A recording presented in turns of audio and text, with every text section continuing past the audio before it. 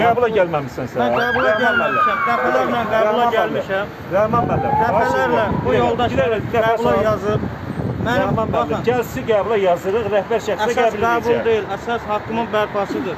İkinci dərəcə 50 düşdüyü halda bu yoldaş dəfələrlə məni çağırıb, qucaq dolu vədlər verib, amma yenə yola salıb çıxıb gedir. İkinci Qarabağ müharibəsi qazisi Rəhman Əzizadə Əmək və Əhalinin Sosial Müdafiəsi Nazirliyi qarşısında təkadamlıq etiraz aksiyası keçirib. Bildirir ki, ikinci qrup 50 olmasına baxmayaraq ona üçüncü qrup 50-lik təyin edilib və aylıq müavinatı 587 manatdan 257 manata enib. Qazi bununla bağlı dəfələrlə müraciətlər etməsinə baxmayaraq nəticəsiz qaldığını bildirir. Təfərrüatlar video reportajda. Azərbaycan Respublikasının ərazi bütövlüyü müdafiəsi uğrunda yaralanaraq bir gözümü itirmişəm və başımdan ağır xəstəliklər ə, keçirtmişəm. Bu haqda diaqnozlarım var. Ə, Keçən ilin dekabrın ə, 10-unda 50-lik müddətim başa çatmışdı. Yenidən forma 88 ə, deyilən bir sənədi 32 saylı şəhər poliklinikası tərəfindən sistemə ötürülmüşdür və o sistemə ötürülən forma 88-ə ikinci qrup 50 düşdüyü halda Nazirlər Kabinetinin 413 nömrəli qərara uyğun düşdüyü halda mənimlə qərəzli ə, belə deyək, ə, qərəzli olaraq mənə 3-cü qrup 50 təyin ediblər. Mən bununla bağlı ə, Əmək və Əhalinin Sosial Müdafiə Nazirliyinə qəbul şöbəsinə dəfələrlə müraciət etmişəm.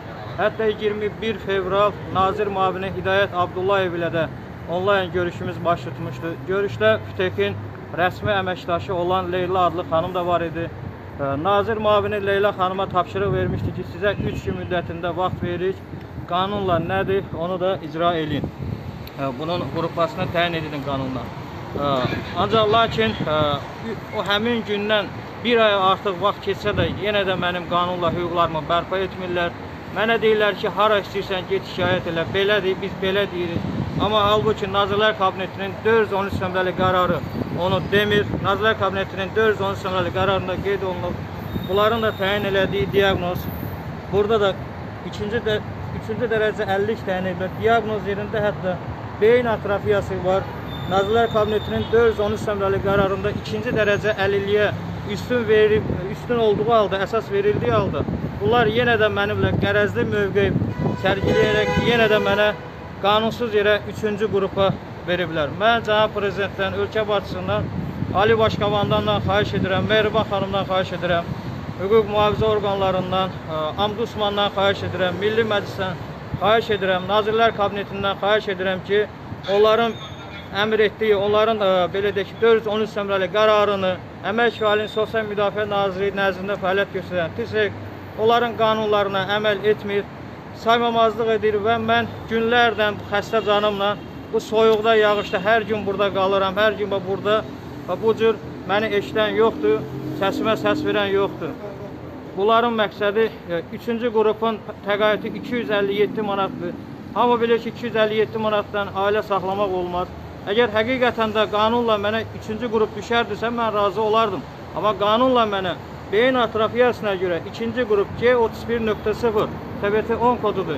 2-ci qrup düşür. Amma bunlar yenə də mənim hüquqlarımı pozurlar və bərpa etməkdən boyun qaçırırlar. Mən bir daha xahiş edirəm, həm Sosial Müdafiə Naziri cənab Salih Babayevdən səsimə səs verin.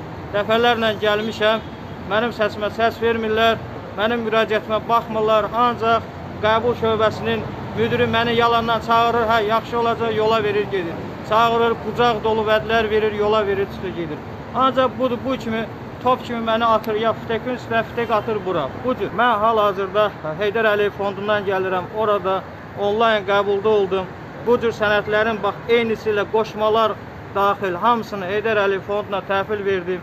Ondan sonra dünənləri Nazirlər Kabinetinin qəbul şöbəsində olmuşam və bu gün həmçinin Amdusmanda olmuşam və Baş Prokurorluqda olmuşam.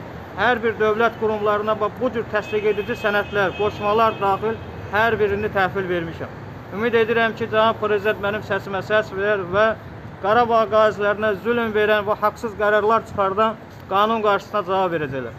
Üçüncü, ikinci qrupda alırdım 587 manat, hərbi vəzifəli olmuşam, vəzifə pulumun 80%-ni alırdımsa 587 manat idir. Amma üçüncü qrupda 257 manat idir. Bu da 35% idir. Amma bilir ki, 257 manat heç minimum əmək pensiyası deyil, heç bununla ailə saxlamaq da olmaz. Ona görə də cənab prezidentdən mən bir daha xahiş edirəm, qanunla mən bütün sənədlərim düzdür və cənab prezidentin adından da bu cür qoşmalar hamısı yazılı. Hazırdır, onu da bu gün təhvil verəcəm. Qəbula gəlməmisən sən. Mən qəbula gəlməmişəm. Dəfələrlə qəbula gəlmişəm. Rəhman müəllim. Dəfələrlə bu yoldaşlar qəbula yazıb. Mənim baxın, Gəl sizi qəbula yazırıq, rəhbər şəxsə əsas qəbul qəbul edəcək. deyil, əsas haqqımın bərpasıdır.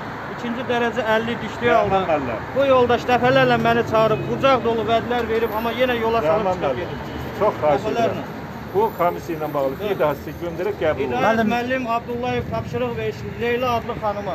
Leyla adlı xanım Hidayət Abdullayev müəllimi də saymır. Bax ki, olan budur. Biz istəyir, hə? Video formatları var. Xahiş edirəm baxsınlar video müəllim.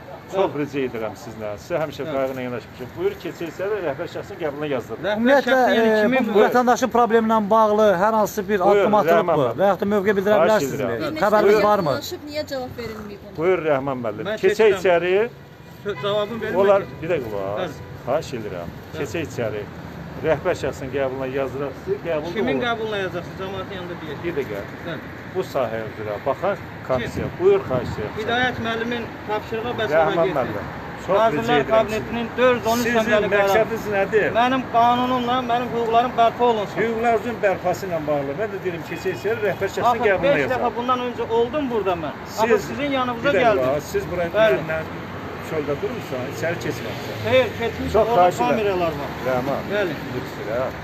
Bu yoldaşların yanında deyirəm ki, xahiş edirəm, keçə içəri rəhbər şəxsin qəbuluna yazırıq. Tamam, mən yenə də cənab prezidentin diqqətinə çatdırıram. Yenə də Fikir yuxtar gələrsən. müəllimin dediyinə razılaşıram, qanunları pozmuram. Yenə də müəllim məni aldatsa, yenə də cənab prezidentə müraciətimi ünvanlayacağam.